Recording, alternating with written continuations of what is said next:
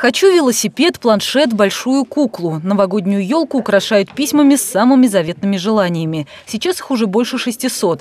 Письма мечты воспитанники приюта «Ровесник» развесили вместе с главой города Олегом Фурсовым. Совсем скоро наступит особенный праздник, когда чудо ждет каждый.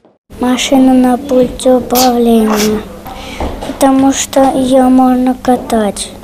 Автомат с патронами, потому что он больше всего нравится. Глава Самары также поможет сбыться детским мечтам. Он выбрал несколько желаний, которые обязательно исполнит. Три, давайте, вот четыре.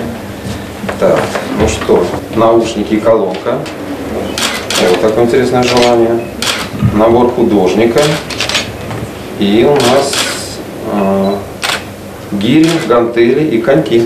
У нас, знаете, за 8 лет 10 тысяч наших жителей приняли участие в этой акции, помогли детям осуществить мечту, организовать праздник. И из года в год количество граждан, желающих помочь и принять участие в этой акции, ошибется. Это очень хорошо.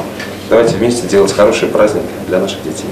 Также Олег Фурсов передал ребятам новогодний огонь, от которого зажгутся другие елки желаний в городе.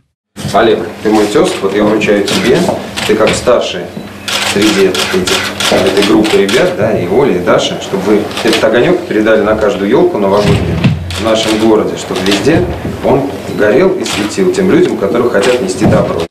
Верхние строчки в рейтинге новогодних желаний традиционно занимают игрушки, телефоны, компьютеры и спортивный инвентарь. Почувствовать себя добрым волшебником может каждый самарец. Для этого нужно снять с волшебного дерева письмо и подарить ребенку новогоднее счастье. Елки желаний установлены в районных центрах «Семья» и в городском департаменте семьи, опеки и попечительства. Акция продлится до конца декабря. Лариса Шлафаст, Константин Головин. События.